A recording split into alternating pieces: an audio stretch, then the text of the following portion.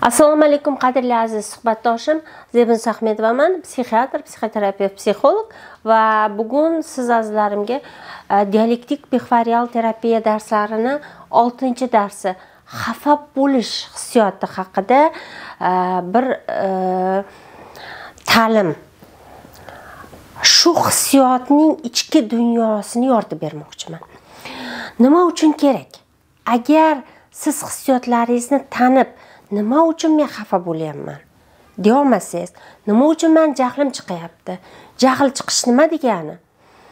Qachon insonni jahli chiqadi? Qachon inson xafa bo'ladi? Qachon inson e, g'am g'ussaga kiradi? Qachon inson qo'rqadi? E, nima uchun men qo'rqib ketyapman? E, qo'rqmasligim uchun nima qilishim kerak? G'amga botmasligim uchun nima qilishim kerak? Xafa bo'lmasligim uchun kayfiyatim tushib ketganligi uchun nima qilishim kerak? Uxlolmadim bugun. Nima uxlolmadim nimadan qo'rqib chiqdim? Kimlar bilan urushdim? Miyam nega to'xtamadi? degan savollarga javob berish uchun avvalo siz o'zingizni hissiyotlaringizni tanishingiz kerak. Masalan qachondir siz yurolmagansiz.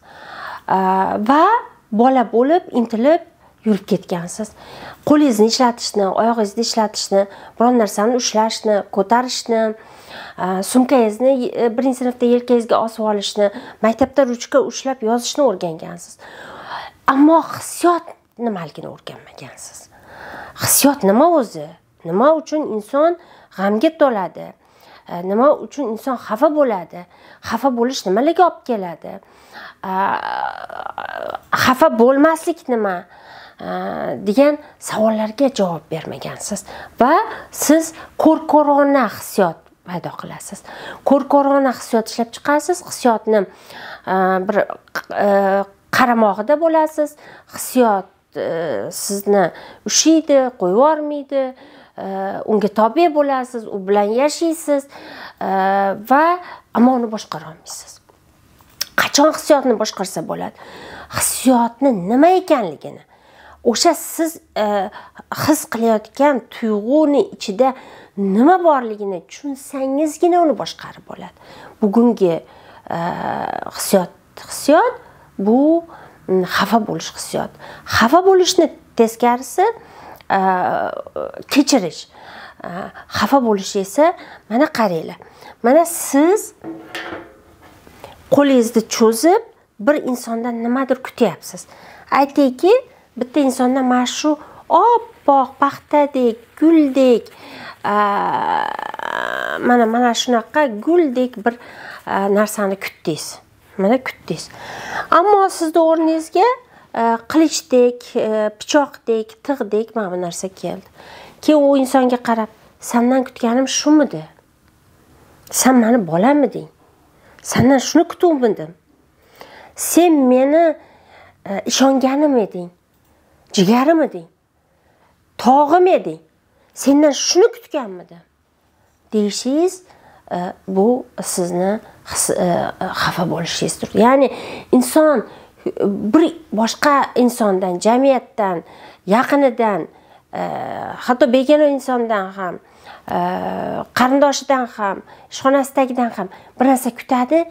Va miyasidagi kutganlarini o'rniga boshqa narsa oladi va o'shanda inson xafa bo'ladi. Kimdan xafa bo'lyapti? Aslida u inson kutuvlaridan xafa bo'lyapti. Shu e, o'zi kutgan insonni jazolayapti.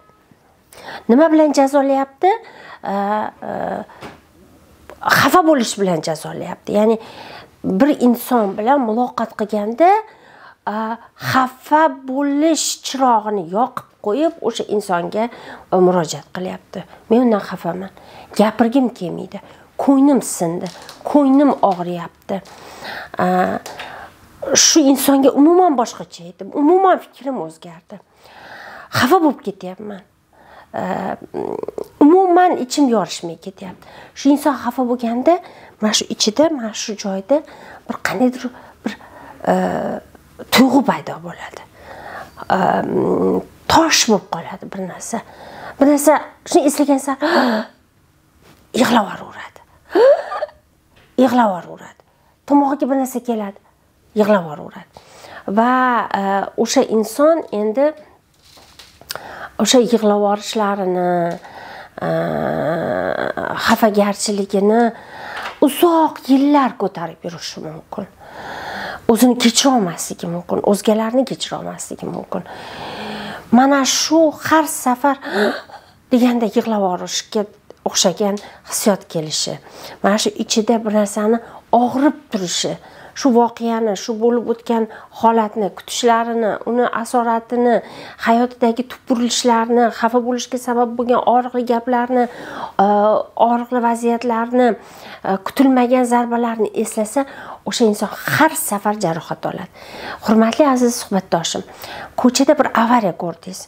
E, Xudo asrasin bir insonni peshonasi bir narsaga urilibdi qon oqibdi xafa bo'lish ham ichki travmatizatsiya.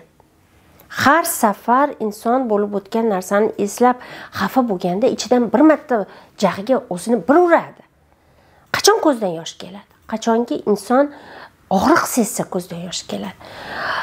Qachon og'riq sezadi? Qachon o'sha zarbani yesa? Qachon zarbani yeydi? Inson eslasa. Eslaydi zarba yeydi yig'laydi xafa bo'ladi. Eslaydi zarba yeydi. Kim qilyapti? O'ziga o'zi. Ya'ni e, o'sha vaziyatni kechira olmaslik o'sha vaziyatdan chiqa olmaslik. Chiqa olmayman. u meni yaqinim u meni akam onam turmush o'rtog'im bolam chiqolmayman a chiqmasangiz nima qilasiz? Nima qilasiz chiqmasangiz o'ziga udar berib qo'yasiz yig'lab olasiz. Yana bir gap. Xafa bo'lishda oxirida yig'laganidan keyin yengillashadigan odamlar bor. Mazaxizmni bir ko'rinishi. U insonlar aytib bergisi keladi.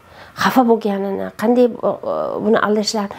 Tomizmay detal detallarigacha aytib berib xafa bo'lishga haqlimanmi?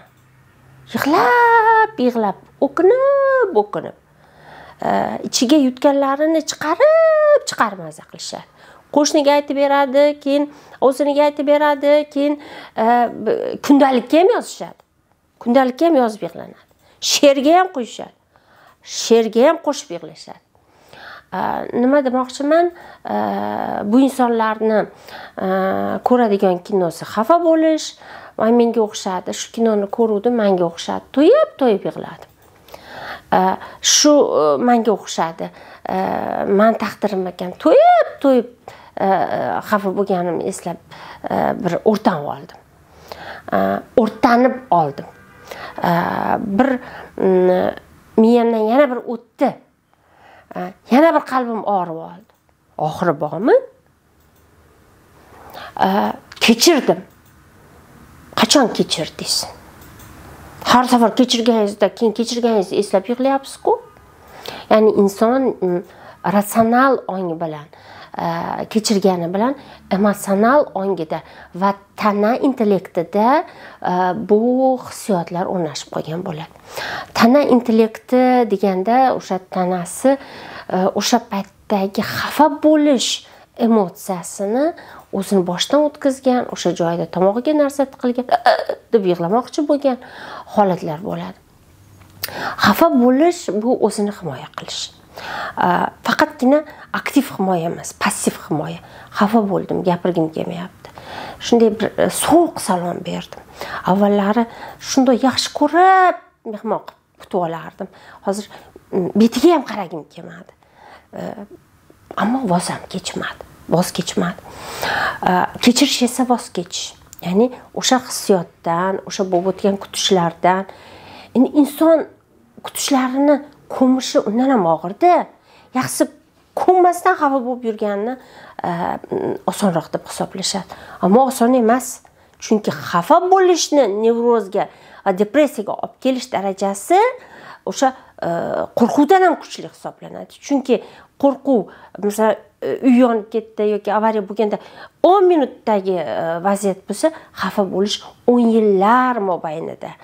E, e, armiya armiya odamlar bilan o'n kishi yigirma kishi o'ttiz kishi bilan xafa bo'lish bu mm, shaxs buzilishiga ya'ni xafa bo'lish xarakteri insonga olib keladi. Ya'ni shunday insonlar borki ularni xarakterida ustuvor sifat xafa bo'lish hisoblanadi. Sal narsaga xafa bo'lib qoladi. Kim desa voy voy qo'y qo'y qo'y sal narsaga xafa bo'lib qoladi. Sal narsaga xafa bo'lib qoladi. Va e, o'sha e, xafa bo'lishi ustuvor bo'lgan insonlarni xarakteridagi e, himoya mexanizmi xafa bo'lish bilan namoyon. Men sendan xafa bo'ldim. Yo'q xafa bo'ldim. Bolalikdan shuni eshitib katta bo'lgan.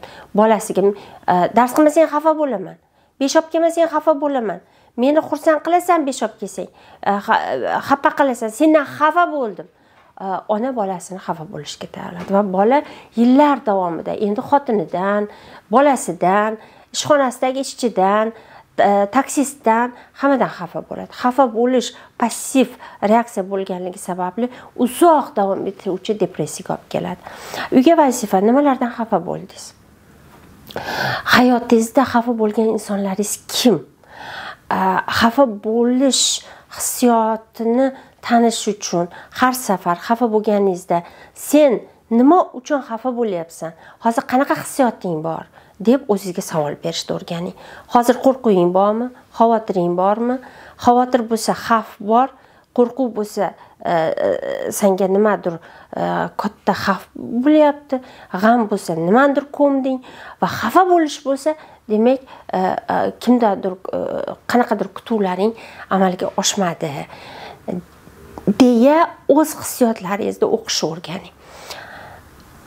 Qachonki siz hissiyotlaringizni tanishni o'rganasiz ularni boshqarasiz? Va hissiyotlaringizni boshqarganingiz sababli ham nevroz va depressiyadan chiqib ketasiz.